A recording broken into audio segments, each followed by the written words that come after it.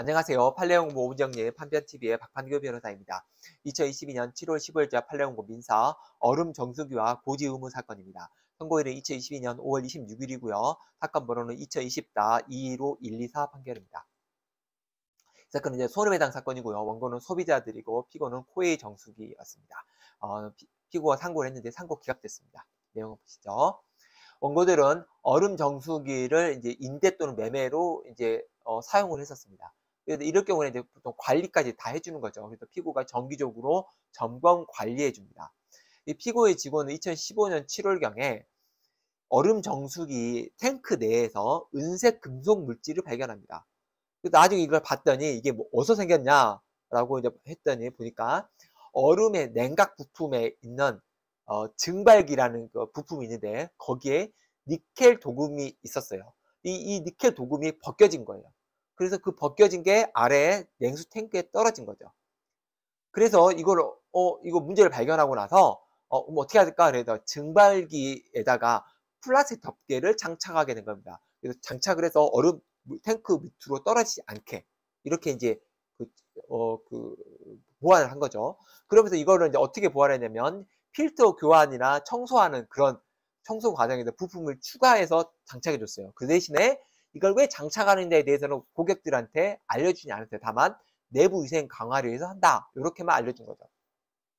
그리고 나서 나중에 이제 지상급 방송에서 탱크 내에서 은색 구슬이가 검출됐고 이것은 소비자에게 어, 회사 측이 알고 있으면서 소비자에게 알려주지 않았다라고 해서 방송이 된 겁니다.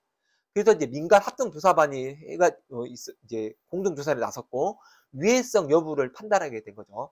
그래서 이 위해성 여부를 판단했더니 그 실제 위해성은 굉장히 낮다. 하지만 장기간에 사용할 경우에는 우려될 우려할 수는 있다. 이런 거를 듭니다. 그래서 이제 피고 회사는 96%의 얼음 정수를 모두 회수야, 회수합니다. 이렇게 된 상황에서 원고들이 여기에 대한 손해배상 청구를 하게 된 거죠. 근데 문제는 뭐죠? 이렇게 위해성 우려는 낮, 낮았어요. 그러니까 위해성은 정확히 판단이 안 됐고 그러니까 뭐 그게 떨어진다고 해서 그걸로 해서 어떤 물질에 어떤 몸에 이상이 있을 수는 없, 있는 거를 밝혀지지 않은 거다. 다만 장기간 사용할 경우에는 위험이 나타날 가능성이 없지는 않다. 이 정도로 이제 결론이 난 거죠. 그러면 이걸 가지고 손해배상 청구를 할 수 있느냐? 이게 이제 문제가 된 거죠. 대법원 뭐라고 하냐면 계속적 계약. 그러니까 정수기를 계속 관리해주고 필터를 가르고 청소해주고 하는 그런 계약. 렌트하거나 매매했을 때 그 관리 계획을 다 해주는 거죠. 이 사건에서는. 그럴 경우에는 신의 선실상, 성실의 원칙상 위험을 미리 고지할 의무가 있다. 특히, 특히 이행 과정에서 생명, 신체, 건강에 관한 것이라면 방지할 조치 의무가 있고 특히 이렇게 대량, 대량 생산 제조업자와 소비자 관계라면 더더욱 그렇다.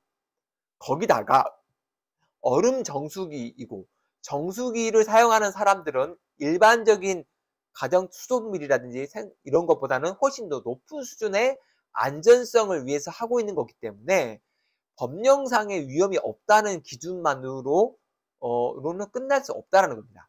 그 이상의 안전성을 확보해야 된다. 그러니까 이, 당연하겠죠. 그러니까 법령에 정해진 기준만 하게 된다면 그 수돗물하고 뭐 차이가 없는 거잖아요. 이건 정수기를 사용하고 있기 때문에 정수기는 적어도 법령상의 위험보다는 더 높은 수준의 안전성을 확보해야 된다.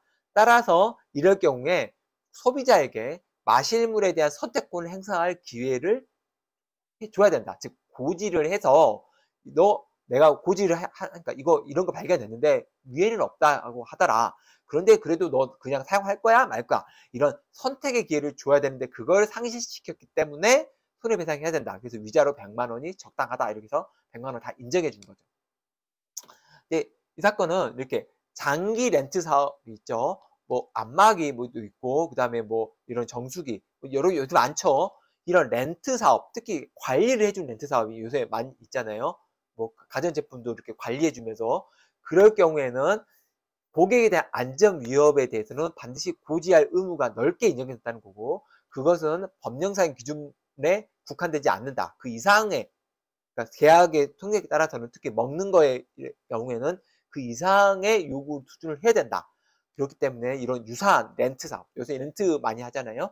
그런 렌트 관련된 유사소송에도 이 판례를 기준 적용할 수 있는 거죠. 이 판례는 그 유사소송할 때 한번 활용할 수 있을 거로 생각이 됩니다. 이상 마치겠습니다. 감사합니다.